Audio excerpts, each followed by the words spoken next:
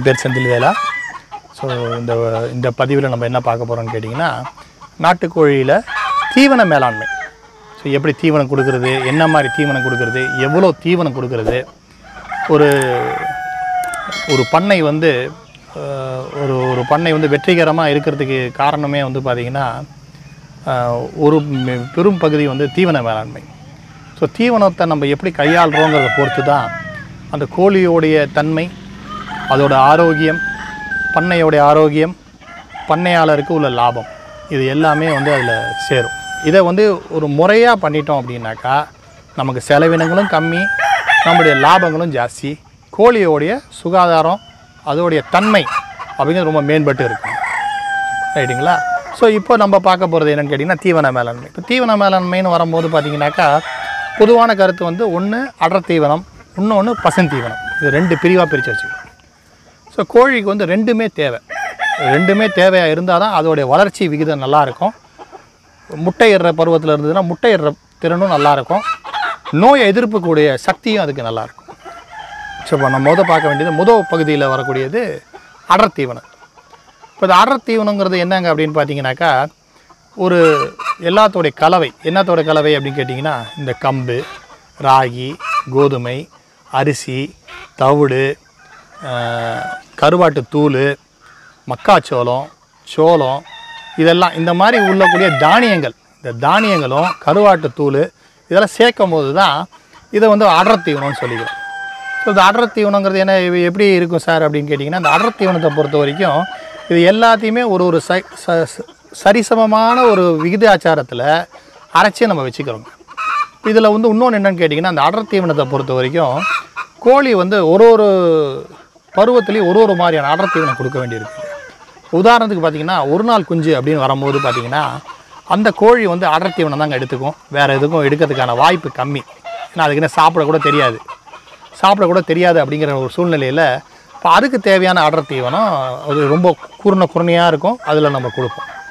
அந்த அடர் தீவனத்தை அது கொடுக்கும்போது பார்த்திங்கன்னா அந்த அடர் தீவனத்தோடைய ஃபார்முலா அதாவது அதோடைய அந்த சூட்சமங்கிறது என்ன இருக்குன்னு கேட்டிங்கன்னா இந்த ஒரு நாள் கோழி குஞ்சு எவ்வளோ சீக்கிரமாக வளரணும் அப்படிங்கிறதுக்காக அதில் வந்து நிறைய எரிசக்தி உள்ளது. இந்த கார்போஹைட்ரேட்ஸ்ன்னு சொல்கிறாங்க இல்லையா? அது வந்து ரொம்ப ஜாஸ்தி இருக்கும். அதுதான் அந்த விகிதாச்சாரம் மாறுறதுக்கூடிய விஷயம். ஸோ அப்போ அந்த இந்த ஒரு நாள்லேருந்து ஒரு நாற்பத்தஞ்சு நாள் வரைக்கும் உள்ள கோழி குஞ்சுக்கு பிபிஎஸ் அப்படின்னு சொல்லுவாங்க. ப்ரீ ஸ்டார்டர் கம்பிள் அப்படின்னு சொல்லுவாங்க அது ஆங்கிலத்தில். ஸோ அந்த வகையை சேர்ந்த அடர் தீவனத்தை நம்ம கோழி குஞ்சுகளுக்கு கொடுக்க ஆரம்பிக்கணுங்க. அதில் வந்து இது வந்து பார்த்திங்கனாக்கா இந்த சிறு கோழி குஞ்சை பொறுத்த வரைக்கும் அதுக்கு வந்து அவ்வளோவா கண்ணு தெரியாதுங்க. அது இன்னும் அந்த அந்த அந்த- அந்த இது அந்த பருவத்தை வந்திருக்காது. அதுக்கு ஒரு பத்து நாள் ஆனால் தான் அது கண்ணு தெரியும். இந்த நுகர்ப்பு சக்தி இருக்கும் எல்லாமே இருக்கும். அப்போ அதுக்கு வந்து பார்த்திங்கன்னா அதுக்கு இந்த மாதிரி ஒரு ஒரு அமைப்பு ஒரு ஒரு ஒரு ஒரு ஒரு மஞ்சள் கலரில் ஒரு பெரிய தட்டில் இதில் வந்து அந்த ப்ரீ ஸ்டார்டர் கம்பில் உள்ளே போடுவோம். அப்போ இது என்ன ஆகும்னு கேட்டால் இது ஒரு இது ஒரு வித்தமும் ஜாஸ்தியாக இருக்கிறதுனால இந்த கோழி குஞ்சு இது உள்ளே வந்து இப்படி ஒரு கொத்தும் போது அதில் உள்ள அதோட தீவனத்தை அதை எடுத்துக்கோங்க. அதுக்காக இந்த ஒரு நாள்லேருந்து நாற்பத்தஞ்சு நாள் வரைக்கும் இதில் தான் நம்ம தீவனத்தை போடுவோம். இதுக்கு மேலே தான் நம்ம அந்த சிகப்பாக பார்த்துருக்கோங்க இல்லைங்களா? சிகப்பு இதில் போட்டு போட்டு அந்த ட்ரம் மாதிரி போட்டு போடுறோம் பார்த்தீங்களா அதில் மாற்ற வேண்டியிருக்கும். ஒரு நாள்லேருந்து நாற்பத்தஞ்சு நாள் வரைக்கும் இதில் தான் இது நம்ம போட்டு இது தீவனம் எடுக்கிறதுக்கு இருக்கும். அப்போ இது என்ன ஆகுதுன்னு கேட்டிங்கன்னா இது வந்து அதுக்கு சுழுவாக எடுத்து கொடுக்கக்கூடிய ஒரு அளவுக்கு இது பண்ணி கொடுக்குங்க. இப்போ அடுத்த அடுத்த பருவம்னு பார்த்தீங்கன்னா ஒரு நாற்பத்தஞ்சு நாளைக்கு அப்புறம் வந்து பார்த்தீங்கன்னாக்கா அது இன்னும் கொஞ்சம் வளர்ச்சி கூட்டணும். ஏன்னா ஒரு ஒரு கோழி ஒரு நாட்டுக்கோழின்னு பார்த்தீங்கன்னா அது முழுமையாக வளர்ச்சி அடையறதுக்கான கால அவச அவகாசம்னு பார்த்தீங்கன்னாக்கா ஒரு ஆறு மாத காலம் ஆகிடுங்க ஆறு மாத காலம் ஆகிடும் அது முட்டைக்காக இருந்தாலும் சரி இல்லை கறிக்கு கொடுக்கறதா இருந்தாலும் சரி. ஆறு மாதம் ஆனால் தான் அது ஒரு முழுமையான கோழியாக நம்ம சொல்கிறோம் ஸோ அப்போ நம்ம ஒன்றுலேருந்து நாற்பத்தஞ்சு நாள் வரைக்கும் நம்ம இந்த பிபிஎஸ்ஸை கொடுத்துட்டோங்க. அதில் உள்ள விகிதாச்சாரம்லாம் இருக்குது அது வந்து இப்போ பொதுவாக பெரிய கம்பெனிங்க தான் அதை செஞ்சுட்டு இருக்காங்க. இல்லை நம்ம அதில் கற்றுக்க முடியும் அப்படின்னாக்கா அது அந்த ஃபார்முலாலாம் எடுத்துகிட்டு வந்து அந்த பொருள்லாம் நம்மகிட்ட கிடைக்குதான்னு பார்த்து நம்ம அரைச்சிக்கனா அரைச்சிக்கலாம். அது உங்களுடைய உங்கள் இடத்துல எப்படி கிடைக்குதுங்கிறத பொறுத்து தான் என்னை பொறுத்த வரைக்கும் நான் கம்பெனியில் வாங்கிக்கிறேன். ஏன்னா வேலை கொஞ்சம் சுலுவாக முடியுங்கிறதுனால. இந்த நாற்பத்தஞ்சு நாள்லேருந்து பார்த்தீங்கன்னாக்கா அதுக்கு ஒரு தீவன மாற்றம் தேவைப்படுது. அதில் வந்து பார்த்தீங்கன்னாக்கா இன்னும் கொஞ்சம் நிறைய புரோட்டீன் புரத சத்து ஜாஸ்தி உள்ள தீவனத்தை போட வேண்டியிருக்கும். இதே கலவைகள் தாங்க. ஆனால் விகிதாச்சாரம் மாறும். ஃபார்முலா மாறும். ஸோ அதில் வந்து பார்த்தீங்கன்னா அதுக்கு ஸ்டார்டர் அப்படின்னு சொல்லி சொல்லுவாங்க. ஸ்டார்டர் அப்படின்னு சொல்லுவாங்க. ஸ்டார்டருங்கும் போது அது ஒரு விகிதாச்சாரத்தில் அதை அரைச்சி வச்சுருப்பாங்க. அப்போ அதை வந்து இந்த நாற்பத்தஞ்சு நாள்லேருந்து ஒரு தொண்ணூறு தொண்ணூறுலேருந்து நூற்றி இருபது நாள் வரைக்குமே அது ஸ்டார்டர் கொடுக்கலாங்க. அப்போ என்ன ஆகுனா அதோட வளர்ச்சி இன்னும் வேகமாக இருக்கும்.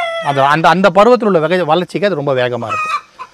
திருப்பி இந்த நூற்றி இருபதுலேருந்து அடுத்த ஸ்டேஜுக்கு போகும்போது பார்த்தீங்கன்னாக்கா இப்போ வந்து ஃபினிஷர்னு ஒன்று இருக்குங்க. ஃபினிஷரில் பார்த்தீங்கன்னா அதோட விகிதாச்சாரம் வேறு மாதிரி இருக்குங்க. ஸோ அதில் இன்னும் கொஞ்சம் புரதம் இன்னும் கொஞ்சம் இதெல்லாம் சேர்ந்து கலந்து அந்த கலவையோட விகிதாச்சாரங்கிறது மாறுங்க. ஸோ இது எல்லாமே வந்து எப்படின்னு கேட்டிங்கன்னா ஒரு ஒரு கம்பெனிக்காரங்க அதை வந்து சீக்ரெட்டாக தான் வச்சுருக்கிறாங்க. எப்படி பண்ணணும் ஏது? ஏன்னா அவங்களோட பொருள் இல்லைங்களா? அதுதான். இப்போ நம்ம இல்லைங்க எனக்கு அதெல்லாம் வேணாம் நானே பண்ணுறேன் அப்படிங்கும்போது நீங்கள் உங்களோட அனுபவத்தை தான் அதை கொண்டு வரணும். ஸோ அந்த ஃபினிஷரை எடுத்து வரங்க. அதுக்கப்புறம் என்ன ஆகுதுன்னு பார்த்தீங்கன்னா கிட்டத்தட்ட ஒரு அஞ்சு மாதம் முடிவில் இப்போ இந்த கோழி வந்து ஓரளவு வளர்ச்சி ஆயிடுச்சு. வளர்ச்சி ஆனதுக்கப்புறம் இது நம்ம வந்து ரெண்டு வகை நம்ம கோழியை வந்து ரெண்டு விதத்துக்கான பயன்பாட்டுக்கு எடுத்துக்கிறோம். ஒன்று முட்டைக்காக இன்னொன்று கறிக்காக. இப்போ கறிக்குன்னு வரும்போது பார்த்தீங்கன்னாக்கா அதுக்கு குரோயர் கொடுக்க ஆரம்பிச்சிடலாம். ஏன்னா அப்போ கறியோட தன்மை இன்னும் நல்லாயிருக்கும். அது இன்னும் வேகமாக வளரும். ஒரு ஒரு கிலோ ஒன்றே கால் கிலோ இருக்க கோழி ஒன்றரை கிலோ ஒரு ஒன்றே முக்கால் கிலோ வந்து நமக்கு ஒரு ஒரு மாதம் ஒன்றரை மாதத்தில் வந்துடும் ஸோ அதுக்கு அது குரோயருங்கிற அந்த தீவனத்தை நம்ம கொடுக்கணுங்க. இதே முட்டையிடுற கோழியாக இருந்துச்சு அப்படின்னா லேயர் மேஷ் அப்படின்னு சொல்லுவாங்க. ஸோ இதுவும் அதே மாதிரி ஒரு ஃபார்முலா விகிதாச்சாரம் தான். ஸோ அது என்ன பண்ணுன்னு கேட்டிங்கன்னா முட்டையிற திறனை அதிகம் பண்ணுங்க இதை வந்து நம்ம குரோயரை கொண்டு போய் முட்டையிடுற கோழிக்கும் முட்டையிடுற கோழி கொண்டு போய் குரோயரையும் கொடுத்தீங்கன்னா அது வந்து அவ்வளோ எதிர்பார்த்த அளவுக்கு நமக்கு பலனை கொடுக்காதுங்க ஸோ அதனால் இதுதான் வந்து இந்த நாலு உள்ள எடுத்துக்கணும். இப்போ சின்ன கோழி கொஞ்சம் நாற்பத்தஞ்சு நாள் வரைக்கும் உள்ளது பிபிஎஸ் ப்ரீ ஸ்டார்டர் கம்பல் இந்த அது நாற்பத்தஞ்சு நாளில் இருந்து கிட்டத்தட்ட நூற்றி இருபது நாள் வரைக்குமே நம்ம ஸ்டார்டர் கொடுக்கலாம். அதுக்கப்புறம் இன்னொரு இருபது முப்பது நாளைக்கு வந்து ஃபினிஷர் கொடுக்கணும்.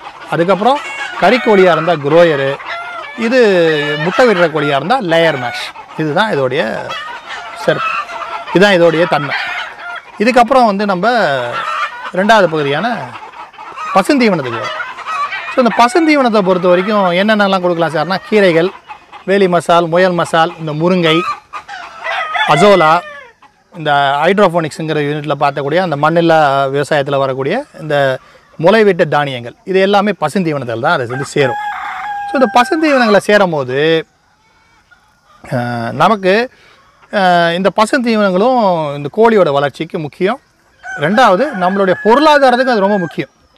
நம்ம வெறும் அடர் தீவனத்தை ஒண்டியே போட்டுட்டு இருந்தோம்னா அது பெரிய நஷ்டத்தில் போய் முடியும். ஏன்னா இன்றைக்கி அடர் தீவனத்தோட விலை வந்து பார்த்திங்கன்னா ஒரு கிலோ கிட்டத்தட்ட முப்பத்தி ரெண்டுலேருந்து முப்பத்தஞ்சு ரூபா வரைக்கும் போகுது அது சீசனை பொறுத்து. ஸோ அதை நம்ம குறைச்சிக்க பார்க்கணும். ஸோ அப்போ இப்போ இப்போ நம்ம ஒரு கோழி இருக்குது. ஸோ கோழிக்கு வந்து நம்ம எப்படி கொடுக்குறது அப்படின்னாக்கா இந்த முதல் நாற்பது அதான் முப்பதுலேருந்து ஒரு நாற்பது முப்பது நாள் வரைக்குமே வந்து நம்ம அடர் தீவனத்தை தாங்க கொடுத்தாகணும். ஏன்னா அந்த கோழிக்கு என்ன சு- கொத்தி சாப்பிடவோ இன்னும் பெருசாக தெரியாது. அது அவ்வளோ அது ஒரு முக்கியமான பருவம். அந்த பருவத்தை தாண்டி வந்தால் தான் ஒரு பையன் குழந்தை இருக்குது அப்படின்னாக்கா ஒரு நாலஞ்சு வயசுக்கு அப்புறம் தான் சின்ன குழந்தைக்கு நம்ம என்ன கொடுக்குறோம்? ஃபஸ்ட்டு தாய்ப்பால் கொடுக்குறோம். அதுக்கப்புறம் அதுக்கு மசிச்சு ஒரு மாதிரி கொடுக்குறோம். அதுக்கப்புறம் தான் ஒரு ஒரு அஞ்சு வயசுக்கு அப்புறம் எல்லாத்தையும் நம்ம சேர்க்க ஆரம்பிப்போம். ஸோ அந்த மாதிரி ஒரு பருவத்தை தான் நம்ம இதில் சொல்கிறோம் நம்ம. ஸோ அப்படி இருக்கும்போது ஒரு முப்பது நாள் கழிச்சு இந்த பசுந்தீவனத்தை கீரையோ இல்லை எதுவோ இருந்தாலும் கொஞ்சம் நல்லா பொடியாக நறுக்கி அது சாப்பிட்ற அளவுக்கு தெரியும் இல்லையா கோழி கொஞ்சம் என்ன சைஸ் இருக்குன்னு. ஸோ அது சாப்பிட்ற அளவுக்கு நல்லா பொடியாக நறுக்கி கொஞ்சம் போட்டிங்கன்னா பழக ஆரம்பிச்சிடும் ஸோ ஒரு நாற்பத்தஞ்சு நாள் வரைக்கும் இப்படி தான் போகுங்க. அதுக்கப்புறம் என்ன பண்ணணும்னு கேட்டிங்கன்னா நம்ம வந்து இந்த நாற்பத்தஞ்சு நாளில் வந்து அது பசுந்தீவனமும் எடுக்க ஆரம்பிச்சிடும் அடர் தீவனமும் எடுக்க ஆரம்பிச்சிடும் ஸோ இந்த பசந்தீவனம் அடர் தீவனம் எடுக்கும் போது அப்படின்னு பார்த்தீங்கன்னா இது என்ன விகிதாச்சாரத்தில் கொடுக்கலாம் சார் அப்படின்னு கேட்டிங்கன்னா ஒரு கோழிக்கு ஒரு நாளைக்கு வந்து பார்த்தீங்கன்னாக்கா எண்பதுலேருந்து நூறு கிராம் வந்து தீவனத்து தேவைப்படுது.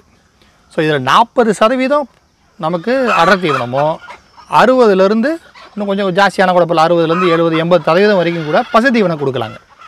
ஒன்றும் தப்பு இல்லை. சார் இது எப்படி கணக்கு பண்ணுறது ஒரு ஒரு கோழிக்கு ஒரு ஒரு பருவத்தில் சொல்லியிருக்கீங்க. எப்படி எவ்வளோ கிராம் கொடுக்குறது அப்படின்ட்டு. சார் ஒரு வளர்ந்த கோழியை பொறுத்த வரைக்கும் ஒரு நாளைக்கு நூறு கிராம் எடுக்குங்க. இதுதான் கணக்கு. கோழி கொஞ்சம் சின்னதாக இருக்கும்போது அதுக்கு தகுந்த மாதிரி கொஞ்சம் கொஞ்சம் கம்மியாக தான் எடுக்கும். அது நீங்கள் உங்களோட அனுபவத்தை பார்த்துங்க இப்போ சின்ன கோழிகள் இருக்குது அப்படின்னாக்கா அதுக்கு தீவனத்தை அதை வச்சுக்கிட்டே இருந்தால் சாப்பிட்டுக்கிட்டே இருக்கணும். அவ்வளோதான் அளவு. நீங்கள் ஓவராக போட்டாலும் வேஸ்ட்டு தான் அது. ஸோ அதை பார்த்துக்கோங்க. ஸோ சின்ன கோழி கொஞ்சம் ஆரம்பிச்சிங்கன்னா ஒரு பத்துலேருந்து இருபது கிராம் பத்து கிராம் ஆரம்பிக்கும் அப்புறம் இருபது கிராம் ஆகும் அப்புறம் முப்பது கிராம் ஆகும். ஒரு வளர்ந்த கோழின்னு வரும்போது அடர் தீவனம் நாற்பது கிராம் வரும். இது அறுபதுலேருந்து எண்பது கிராம் பசுந்தீவனம் கொடுங்க. இதுதான் தீவன மேலாண்மைக்கு ரொம்ப முக்கியம். ஸோ இந்த தீவன மேலாண்மை பசுந்தீவனம் அடர் தீவனம் சொல்லிட்டீங்க சார். இது வேறு என்ன இதில் இப்போ பார்க்க வேண்டியிருக்கு? எப்போவுமே ஒரு கோழி வந்து எது மிச்சம் வைக்குதா இல்லையா அதெல்லாம் கொஞ்சம் பார்த்துக்கிட்டே தான் வரணும். ஒரு வேலை என்ன ஆகும்னு கேட்டிங்கன்னா சில கோழிகள் வந்து ஒன்றோட ஒன்று கொத்துக்க ஆரம்பிக்கும். இல்லை முடியை பிச்சுக்க ஆரம்பிச்சிக்கும். எதுக்காக அப்படின்னு கேட்டிங்கன்னா இது தீவன பற்றாக்குறையினால் நடக்கக்கூடிய ஒரு விஷயம். ஸோ இந்த தீவன பற்றாக்குறையை அதை வச்சு நீ கண்டுபிடிச்சி கொஞ்சம் ஜாஸ்தி பண்ணுறது கம்மி பண்ணுறது கொஞ்சம் கம்மி பண்ணிக்கோங்க. இதுதான் இதோடைய இது. ஸோ அது ரொம்ப முக்கியம். ஏன்னா நீங்கள் வந்து ஒரு தடவை பார்த்துக்கிட்டே வரணும். சில நேரத்தில் கோழி தேவையில்லாமல் அடிச்சுக்கும். ஏன் அடிச்சுக்குதுன்னா அது தீவனம் பத்தலேன்னு தான். ஒன்று ரெண்டாவது எல்லா இப்போ நீங்கள் நூறு கோழி உதாரணத்துக்கு ஒரு நூறு கோழி வளர்க்குறீங்க அப்படின்னாக்கா எல்லா கோழியுமே வந்து வலிமையானதாக இருக்காது. சில இதெல்லாம் கொஞ்சம் வீக்கானதாக இருக்கா இருக்கும் கொஞ்சம் வீக்காக இருக்கிறதா இருக்கு. நம்ம அதை கொஞ்சம் பார்க்கணும். அந்த மாதிரி சமயத்தில் அதுக்கு தேவையான தீவனத்தை கொஞ்சம் தனியாக கொடுக்கறதுக்கு பார்க்கணும். இப்போ நீங்கள் ஒரு பத்து டப்பா வைக்கிறீங்க. அது பார்த்தீங்கன்னா அந்த கோழி என்ன பண்ணணும்னா அந்த வலிமையான கோழிகள் எல்லாம் முறை சாப்பிட்ரும். அப்புறம் தான் இந்த கோழிக்கு இடம் கொடுக்கும். ஸோ அதனால் அப்படி அந்த மாதிரி ஒரு ஒரு சூழ்நிலை பார்க்கும்போது நீங்கள் பத்து டப்பா வந்து ஒரு பன்னெண்டு பதிமூணு டப்பா எக்ஸ்ட்ரா வைங்க. அப்போ எல்லா கோழிகளும் அதை எடுத்துக்க ஆரம்பிச்சிடும் ஸோ இது கொஞ்சம் மனசில் வச்சுக்கிட்டு இந்த மாதிரி ஒரு தீவன மேலாண்மையை பண்ணுங்கள்